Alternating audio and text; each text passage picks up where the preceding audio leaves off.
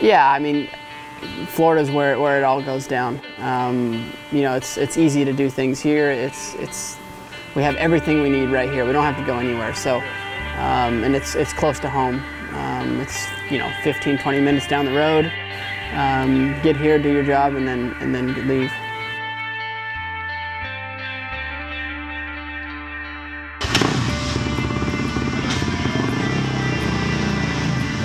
Yeah, the season started off, definitely rough. Um, Anaheim one, not um, didn't go as as I wanted it to. Um, up and down from there, and yeah, finally got into it and, and you know found uh, found where I needed to be. We made some improvements with the bike and myself, and a little bit a little bit of everything. I, heard, I read on the internet the air fork was a problem. I read. I saw it on TV show too. Really? Yeah. No, the air fork wasn't the problem it. because it's it's still here. Yeah, yeah. Or is that just the cap? Is that just the cap that's just made to look?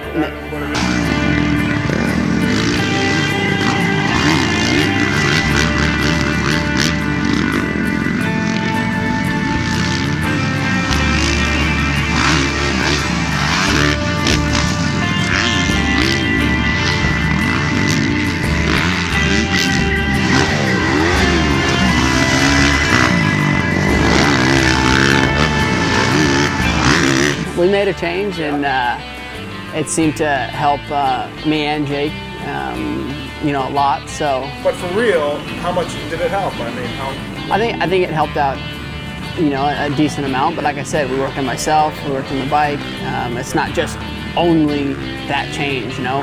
Um, made a shock change, you know, just just little changes here and there that will just keep moving forward, and making the thing better.